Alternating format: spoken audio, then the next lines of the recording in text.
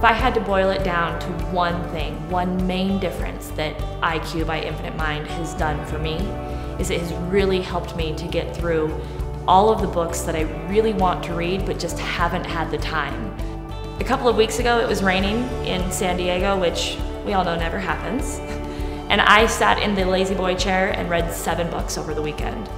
It was so amazing because they were all different leadership books, which is where my primary focus is in life right now. All from different authors, all from different point of views. And I really would have never had time if I couldn't read quickly. One of the best things about eyeQ that makes it unique is it's not just about how quickly you can read, but also how effective it is. If it's not effective because you aren't comprehending what you're reading, there's really no point in doing it. That's one of the main differences that I have really appreciated in this product.